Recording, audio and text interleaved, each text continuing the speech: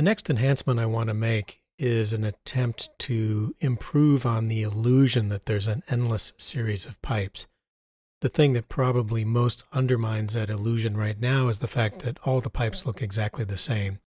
So there are two things that we could change about them. We can change the geometry and we can change the materials. What I'm going to do is just randomize the material so that every time it's spawned or beams back to its start position, including on game start, it chooses a random material. This will be a finite list, and before you start building the flow graph, you might want to come in here, try some of these different materials and sort of decide on which ones you're willing to switch to.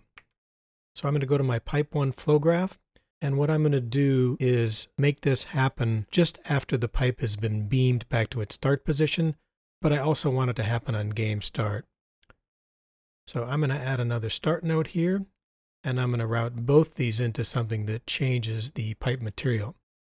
Well, materials are kind of their own special thing, and they have their own nodes. The key thing that I'm interested in here is called entity material change. I'm going to assign the graph entity, and that'll take care of my bottom pipe. And then I'm going to grab another one of these because I also want to change the top pipe at the same time. Select the first top pipe there, which is now going to make our flow graph entity specific. A little bit tricky and important to remember.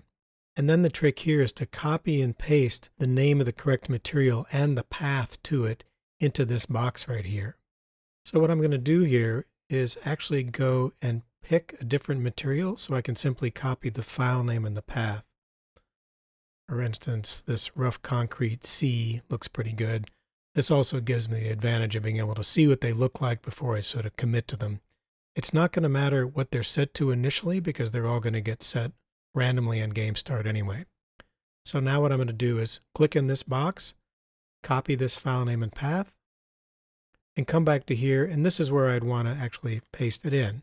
However, I don't want to paste in just one material. I want to pick randomly from a whole list of materials.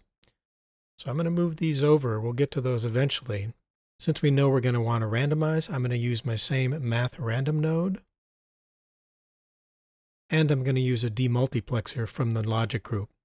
So the same thing that I did before, this is going to generate a number which I'll set between 0 and 7.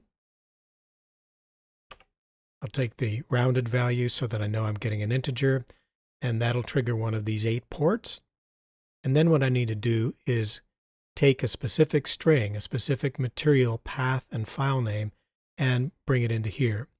So what I need here is a string function, just simply to set up a string. So if this particular port gets triggered, I'll say I want to use this material. So that gives me the string, and that's going to be mapped to here. But again, the issue I have is I'm going to have eight of these, and if any one of them gets triggered, they all need to feed this same input. So again, what I'm going to need is one of these handy logic any nodes.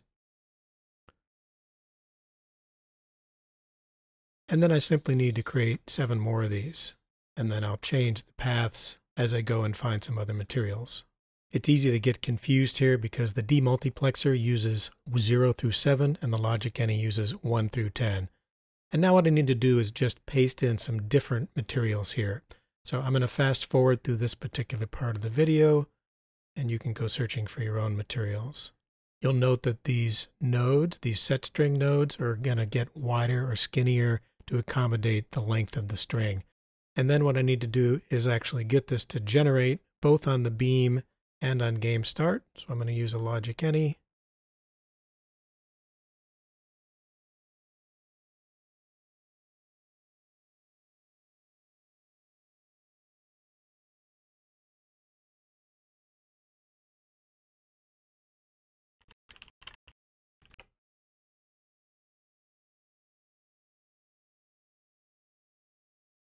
I've got to trigger the set as well as feeding it the name of the material. A quick way to check this would simply be to turn the physics on with Control P. That also initiates the flow graph. And you can see that every time I do this, I'm getting a different material. Sometimes this mode setting on the demultiplexer can be a little bit tricky. If you're not getting a result that you expect with the always, try making it specifically only listen to the port that you're using. You're going to use one or the other in most cases. Now that I have this, I can copy it to my other pipes Tricky part about this is you have to remember to go in and change the entity ID of the top pipe because it's now specific to this particular flow graph.